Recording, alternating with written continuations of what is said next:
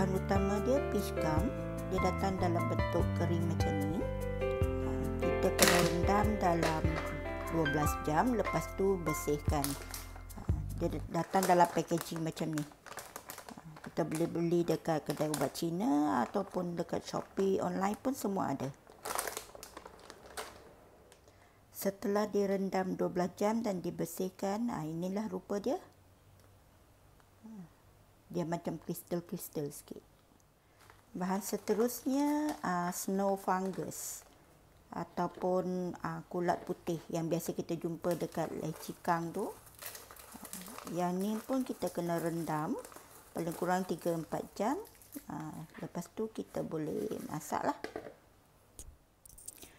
Bahan-bahan lain buah longan kering, gula batu, kurma Cina, goji berry, daun pandan. Untuk buah kurma Cina, kalau boleh buang biji dia dulu. Sebab biji dia sebenarnya panaskan padan. Ha, buang biji dia. Tengah-tengah ni ada biji dia.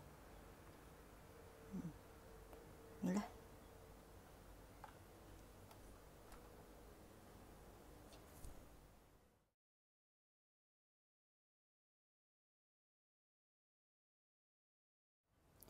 Panaskan dalam 2 hingga 3 liter air. Masukkan daun pandan, cendawan snow, uh, longan kering, kurma cina dan gula batu. Biarkan mendidih dalam uh, 45 minit hingga 1 jam sebelum kita masukkan bahan-bahan yang lain.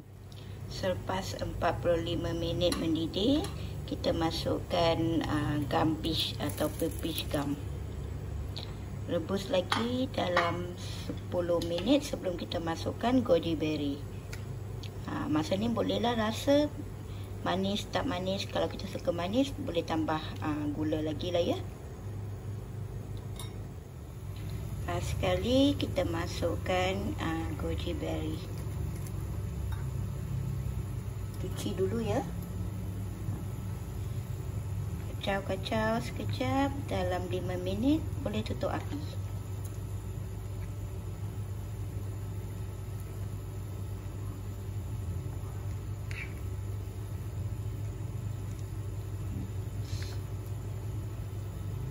inilah rupa dia bila dah masak.